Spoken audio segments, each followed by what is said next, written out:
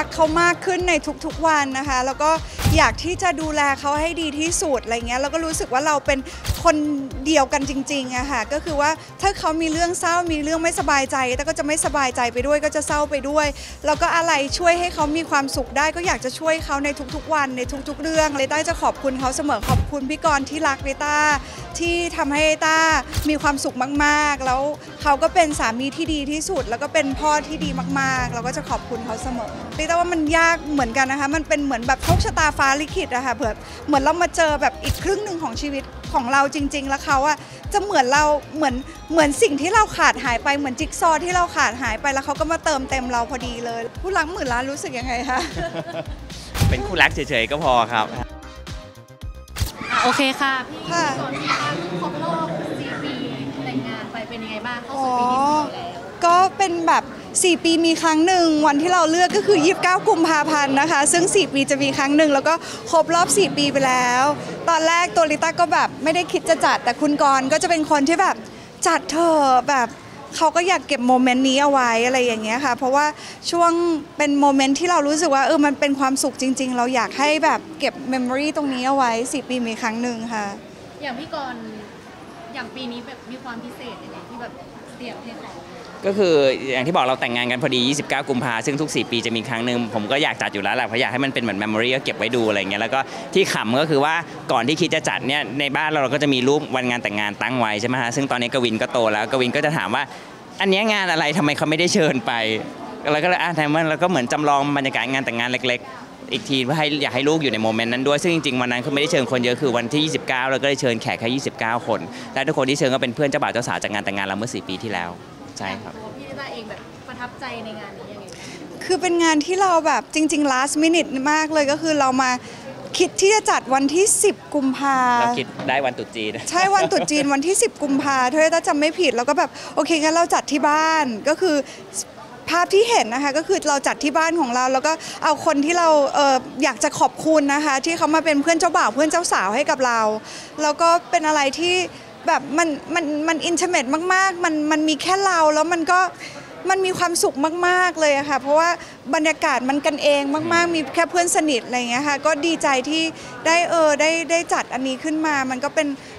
memory ของเราเป็นเป็นเป็นความประทับใจ แล้วก็เราก็อยากจะเก็บไปเรื่อย ๆ แล้วกวินเนี่ยมีความสุขมากเพราะว่าวันนี้มีเขาแล้ว เพราะเมื่อ 4 ปีที่แล้วไม่มีเขาอะไรอย่างเงี้ยค่ะ เขาชอบชี้ในรูปว่าแบบทำไมกวินไม่ได้ไปอะไรอย่างเงี้ยวันนี้ก็จะมีเขามีเขาอยู่ในรูปในเมมโมรีอันนั้นด้วยค่ะอย่างตอนนี้เข้าสู่ปีที่สี่แล้วมันแตกต่างจากตอนแรกยังไงบ้างอะจริง ๆ มันก็ไม่ได้แตกต่างเลยมากนะเพราะว่าคือแบบว่าเราก็แบบว่าคือ เหมือนไอ้เรื่องปรับตัวปรับตัวนี่คือน้อยมาก เพราะว่าคือแบบว่าตั้งแต่วันแรกที่แต่งงานกันก็คือเหมือนแบบเป็นคนคนเดียวกันไปแล้ว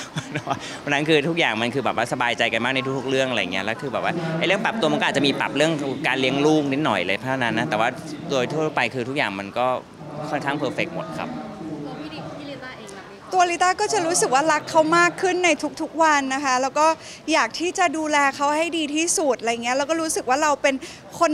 เดียวกันจริงๆอะค่ะก็คือว่าถ้าเขามีเรื่องเศร้ามีเรื่องไม่สบายใจแต่ก็จะไม่สบายใจไปด้วยก็จะเศร้าไปด้วย แล้วก็อะไรช่วยให้เขามีความสุขได้ ก็อยากจะช่วยเขาในทุกๆวันในทุก ๆ เรื่องอะไรเงี้ยค่ะก็จะรู้สึกว่าเขามีความสุขเราก็จะมีความสุขด้วยเขาทุกข์เราก็จะทุกข์ด้วย แล้วก็อยากที่จะดูแลเขาให้ดีที่สุด อยากจะดูแลลูกให้ดีที่สุดอะไรเงี้ยค่ะมันเหมือนเป็นชัปเตอร์ใหม่ในชีวิตของเราอะค่ะพอผ่านมา 4 ปีเรามีลูกด้วย เรามีเขาด้วยเราก็จะรักเขามากขึ้นทุกวันทุกวันอะไรเงี้ยค่ะ อย่างความเสมอต้นเสมอปลายนี่ก็ยัง เราก็พยายามที่จะแบบอย่างตัวลิต้าเป็นคนที่โรแมนติกมากอยู่แล้ว ก็จะพยายามแบบทำดินเนอร์ให้เขาทานหรือจัดอะไรพิเศษพิเศษให้เขาหรือว่าแบบทำอะไรที่แบบน่ารักน่ารักให้เขาแบบมีความสุขให้เขาหายเหนื่อยอะไรแบบนี้ก็เป็นสิ่งที่เราแบบพยายามทำให้กันและกันให้ให้ทุกวันมันคือมันคือวันที่ดีของเราสองคน แล้วก็ appreciate our love appreciate ว่าเราโชคดีจังเลย เราได้เจอกันและกันอะไรเงี้ยแล้วก็เข้ามาเติมเต็มกันและกันริต้าจะขอบคุณเขาเสมอขอบคุณพี่กรณ์ที่รักริต้าที่ทำให้ต้ามีความสุขมากๆ แล้วเขาก็เป็นสามีที่ดีที่สุด แล้วก็เป็นพ่อที่ดีมากๆ เราก็จะขอบคุณเขาเสมอ หลายหลายคนก็แบบยกให้คู่ของพี่ทั้งสองคนเป็นแบบคู่ที่ perfect อะไรอย่างเงี้ยค่ะเป็นไงบ้างคือเหมือนเหมือนเราก็ขอบคุณนะคะริต้าก็จะขอบคุณแบบสิ่งศักดิ์สิทธิ์ที่ทำให้เราได้มาเจอกันมันมันมันเรียกได้ว่ามันยากเหมือนกันนะคะ มันเป็นเหมือนแบบโชคชะตาฟ้าลิขิตอะค่ะเผื่อเหมือนเรามาเจอแบบอีกครึ่งหนึ่งของชีวิต ของเราจริง ๆ แล้วเขาอะจะเหมือนเราเหมือนเหมือนสิ่งที่เราขาดหายไปเหมือนจิ๊กซอว์ที่เราขาดหายไปแล้วเขาก็มาเติมเต็มเราพอดีเลย แล้วเรารู้ว่าแบบ is destiny is destiny มันเป็นแบบพรหมลิขิตอะไรอย่างเงี้ยค่ะ เรารู้สึกไงบ้างที่แบบคนก็บอกว่าเป็นคู่รักหมื่นล้านอะไรอย่างเงี้ย ผู้รักหมื่นล้านรู้สึกยังไงคะเป็นคู่รักเฉยๆก็พอครับใช่คือจริง ๆ คือแบบว่าสุดท้ายนะผมว่าความความสุขทุกอย่างคนเราเนี่ยมันทุกอย่างคือโอเคทรัพย์สินเงินทองมันก็เป็นเรื่องเนี่ยที่ทำให้เหมือนการใช้ชีวิตคู่มันง่ายขึ้นแต่สุดท้ายคือมันอยู่ที่ใจอะคือถ้าใจเราเป็นสุขแล้วเรารักกันจริง ๆ สุดท้ายมันก็คือนะผมว่าอันนั้นสำคัญที่สุดครับอยากขอถามเรื่องแผนลูกคนที่สองนี่จะค่ะมีโอ้ยจริง ๆ วางแผนอยู่ตลอดนะ แล้วก็ ปรึกษาหมอตลอด แล้วก็บำรุงตลอดเลยค่ะ ก็จริงๆเราเราก็อยากให้เป็นเรื่องของธรรมชาติ ค่อยๆเป็น ค่อย ๆ ไป แต่ว่าก็รอลุ้นตลอดค่ะ ก็เทือมาเมื่อไหร่รีบบอกแน่นอนก็คือรอลุ้นค่ะเราก็เตรียมร่างกายให้เราแข็งแรงตลอดคือลิต้าว่าคือสิ่งหนึ่งที่ลิต้าทำได้เลยเสมอก็คือทำจิตใจให้ดีทำร่างกายให้แข็งแรง แล้วก็เอ่อบำรุงร่างกายดี ๆ อะไรอย่างเงี้ยค่ะ แล้วก็ ปล่อยให้เป็นเรื่องของธรรมชาติค่ะ ไม่มีแบบว่าต้องเป็นแบบภายในปีนี้หรือยังไงปีไหนก็ได้ค่ะ จริง ๆ แล้วแบบแค่แบบอยากให้เขามีพี่น้อง อยากให้กวินเขามีมีน้องอะไรอย่างเงี้ยที่ไหนค่ะ ก็ได้แต่ขอให้เขาออกมาแข็งแรงสมบูรณ์ แล้วก็เป็นค่ะ เด็กดีแค่เนี้ยแล้วแฮปใชปี้แล้่วใช่ค่ะ อย่างอย่างตอนนี้ก็คือแบบ เป็นวิธีธรรมชาติก็คือปล่อยแล้วเราก็ปล่อยธรรมชาตินะคะปล่อยมาสักพักหนึ่งแล้วใช่ครับแต่ลิต้าเชื่อว่าแบบมันพรหมลิขิตอะค่ะเขาอยากมาเมื่อไหร่ลิต้าเชื่อว่าเดี๋ยวเขาก็จะมาค่ะก็ให้แฟนๆรอลุ้น แฟนแฟนไปก็กับรเราอด้วยลุ้กันนแล้วไปกันกับนะเราเราก็ลุ้นเราก็ลุ้นใช่